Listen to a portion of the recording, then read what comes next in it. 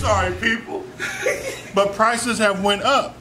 Prices went up. Pri- they are not the same as 15 years ago. Yesterday's price is not $100 today's an price. hour was 15 years ago, people. 15. Everything is more. Let me. This machine. This is thirteen hundred dollars. Stop playing. Thirteen hundred. Stop playing. My my needles is Stop. forty. Wait. Preach. Preach. Talk to No him, OG.